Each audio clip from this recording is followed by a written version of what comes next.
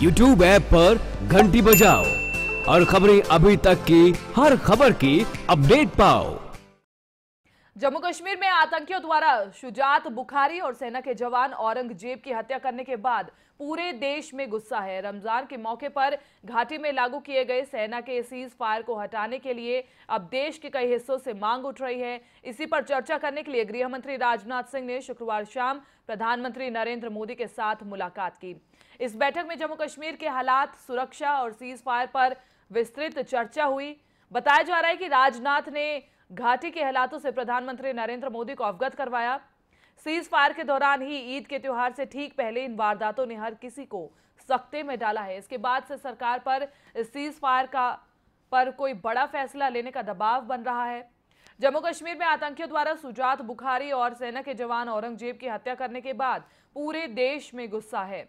रमज़ान के मौके पर घाटी में लागू किए गए सेना के सीज फायर को हटाने के लिए अब देश के कई हिस्सों से मांग उठ रही है। जम्मू कश्मीर में सीज फायर की अवधि को बढ़ाने को लेकर केंद्रीय गृह मंत्री राजनाथ सिंह ने सतारह जून को बड़ा ऐलान किया है। करेंगे? माफ़ कीजिएगा। उन्होंने एक सवाल के जवाब में कहा कि 16 जून तक घाटी में सीज फायर और सैन्य ऑपरेशन पर रोक लगी हुई है और सतारह जून के बाद ही इस पर कुछ बोलूँगा।